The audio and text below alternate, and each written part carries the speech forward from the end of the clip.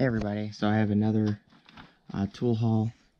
Uh, I got all this from eBay for uh, 30 bucks, which is usually, um, these over here usually about 40 from Napa.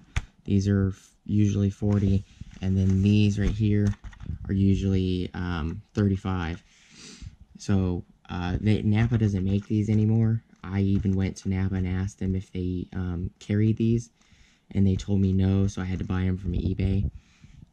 Uh, six piece flexible Torx key set, which is this one right here. This is T25, T27, T30, T40, T45, and T50. And then this one is a metric six piece flexible hex key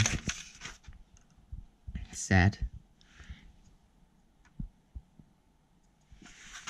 I'm not sure. Does it say what sizes? 3, 4, 5, 6, 8, and 10 millimeter for these right here.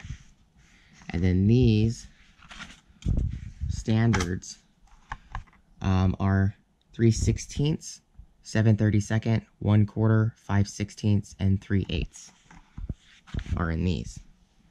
So I just wanted to do a quick tool haul um, thank you for watching. Please like, comment, subscribe, and um, hit that bell notification icon if you haven't already, if you want future updated videos. And I'll see you guys next time. Thank you, and you have a great day.